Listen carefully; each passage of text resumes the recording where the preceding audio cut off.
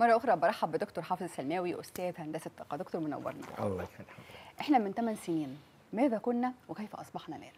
في مجال الغاز الطبيعي والبترول من 8 سنين آه انخفض إنتاجنا يعني 2010 2011 كنا بننتج قرابة آه 6 مليار قدم مكعب في اليوم. في سنة 13 14 انخفضنا إلى قرابة 4 مهم. فانخفضنا بحوالي تلت قدرتنا من الإنتاج. وده كان له سببين سبب أولاني إن إحنا آه، ما عملناش آه، اتفاقيات جديدة وبالتالي دايما بتضيفي اتفاقيات وتخش في الإنتاج بتكتشفي جزء منها بتخش في الإنتاج وقدام اللي بيحصل التدهور الطبيعي في الإنتاجية بتاع.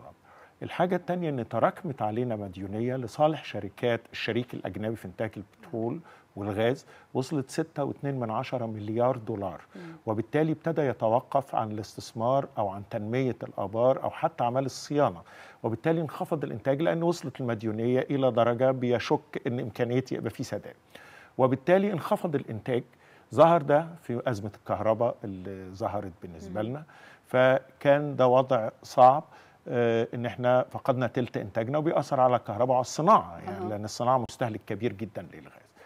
كان الحل بقى كنا فيه الحل بدأ بمرحلتين، المرحلة الأولانية هي آه، معالجة أسباب الأزمة وكان جزء منها آه، عمل اتفاقيات مع الشركاء الأجانب لتجدوله المديونية وسدادها. آه، علشان يعيدوا الاستثمار تاني اتنين طرح اتفاقيات جديدة لعمليات البحث والتنقيب واللي تمخضت بعد كده في سنة 2015 عن. حقل ظهر أحدها تالت حاجة بدء استيراد الغاز لحين ما نحل. المشكلة لأن طبعا لما بيحصل انخفاض في الإنتاج لا يمكن يستعاد مرة أخرى بصورة سريعة بياخد أها. سنة اتنين تلاتة مع بال ما يقدر إنه يرجع تاني للإنتاج فتم استيراد الغاز وكان كمان قرار مش سهل لأن كان أول مرة مصر تواجه موقف زي كده. فما كانش عندنا وسائل للاستيراد فتم تأجير مراكب لإعادة تغييز الغاز المسال تم إنشاء ميناء مخصص لذا في العين السخنة تم ربط الميناء بشبكة الغاز آه، بتاعة مصر علشان نقدر نتمكن. وصلنا في وقت من الأوقات زي ما حضرتك أشرتي إن إحنا بنستورد حوالي 1000 آه، آه، واحد واتنين من عشرة مليار قدم مكعب في اليوم. اللي هو تقريبا حوالي ما بين 15 إلى 20% من إجمالي احتياجاتنا من الغاز. آه، استمر الوضع ده لغاية سنة 18 إنما النقطة الجيدة جدا إن لما اكتشف اكتشف حقل ظهر سنة مم. 2015 تم تنمية هذا الحقل خلال عامين بدأ ينتج 2017 عشان أدي حضرتك مثال. حقل آه، ليفانثان في إسرائيل اكتشف 2009 ما دخلش على الإنتاج غير 2019 خد 10 سنين في تنمية الحقل. إحنا نمينا حقل ظهر في سنتين وابتدى يخش الانتاج واستمرت عملية التنمية لدرجة إن إحنا وصلنا في 2000 و- طبعا مش ظهر لوحده وباقي حقول أخرى وعودة الشركاء الأجانب وجود اكتشافات أخرى ووجود اتفاقيات كانت توقفت زي اتفاق غرب اسكندرية وأعيد تاني إحيائه. آه، ده وصلنا إن سنه 18 أكتوبر 18 وصلنا الاكتفاء الذاتي من الغاز. ثم بنتكلم النهارده بقى على تصدير الغاز. طيب. مستشار الطاقة في البيت الأبيض السابق آه، كتب مقال في شهر مارس الماضي تنبأ إن هيكون في أزمة عالمية في الطاقة ما حصلتش من السبعينات هل الموضوع ده صحيح؟ ما أقدرش أقول إن في أزمة موارد الطاقة موجودة. ولكن ممكن سياسات الطاقة هي اللي تتسبب في نوع من الأزمة اولا إمكانيات الطاقة في العالم تكفي احتياجات العالم من الطاقة وبالعكس إن التطور التكنولوجي اللي بيحصل في العالم والتوجه نحو ال- آه، آه، السياسات الخاصة بخفض الانبعاثات ال- بتاع التغيرات المناخية بتؤدي إلى الإقلال الاعتماد على البترول. والغاز. في نفس الوقت موارد الطاقة المتجددة الحقيقة لا محدودة أها. وبالذات في بعض الدول اللي عندها مثل هذه المميزات. ولكن ما يعانيه العالم هو نوع من التراجع عن فكرة الاعتماد المتبادل. في الموارد واللي عنده مورد بيبيع للي ما عندوش مورد إلى تفكير دول كثيرة في الاعتماد الذاتي على نفسها ده قد يخلق بعض المشاكل. في قطاع إنما من ناحية المورد كاجمالا مفيش أزمة. ولكن الأزمة هي في السياسات الخاصة بالطاقه بس حصل ارتفاع أسعار للبنزين في دول كتيرة جدا بينها إنجلترا. يعني الناس بقت بتسيب عربياتها خلاص ما بتسوقش. ما دي بتاع- سياسية هي ما كانش تأثرنا؟ المشكلة. إحنا طبعا تأثرنا يعني تأثرنا ولكن الحمد لله في آه، ما خفف من هذا الأثر. إيه آه، السبب؟ يعني إحنا مش حاسين قوي إن الحمد لله في بالظبط. وخايفين. إحنا إحنا- طبعا أنا أنا سؤالي هل هنتأثر يعني ولا إحنا كده ماشيين صح؟ آه، آه، طبعا الدنيا بتتغير بسرعة يعني مع الدنيا بتتغير بسرعة بطريقة بحيث إن القدرة على التنبؤ أصبحت صعب جدا. إنما على الأقل آه، إحنا مستورد في البترول. فاحنا نستورد بترول.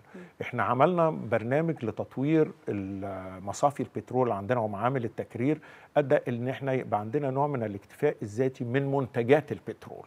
ولكن نحن نستورد البترول. زي ما قلنا بن كنا بنستورد الغاز بقينا لا نستورد الغاز وانعكس الوضع بقينا مصدرين للغاز. فتأثرنا بالارتفاع اللي حصل بأسعار البترول نتيجة لأن إحنا بنستورد وبنصدر. بس استفدنا من ناحية أخرى من الأسعار اللي زادت جدا في أسعار الغاز ورجوعنا مرة أخرى إلى سوق الغاز. فإلى حد كبير ده خفف من الأثر اللي ممكن إن يحصل لنا أو حصل لنا نتيجة للزيادة في أسعار البترول اللي ممكن تبقى موجودة. عايزين ننتهز فترة وجود حضرتك معانا وإحنا معانا تقرير عن محطة بنبان. الحقيقة كأحد أكبر طبعا محطات الطاقة العملاقة في الطاقة الكهربائية. أعتقد هي إحدى النجاحات اللي هتقدمها مصر في مؤتمر المناخ القادم إن شاء الله. نتابع التقرير ونرجع نكمل مع حضرتك. نتابع.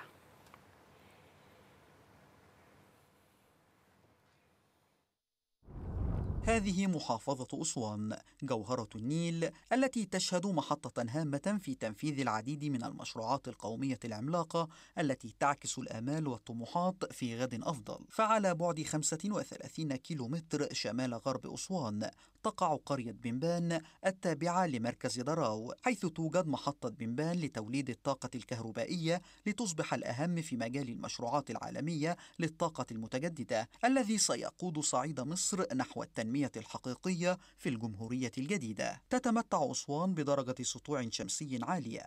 على مدار العام ما منحها ميزة نسبية لتكون أرضا للمشروع الذي صمم لإنتاج 2000 ميجا وات إضافية من الكهرباء للشبكة القومية الموحدة. المحطة تقام على مساحة 37 كيلومتر مربع بالشراكة مع القطاع الخاص والخبرات الدولية وبتكلفة استثمارية بنحو 40 مليار جنيه.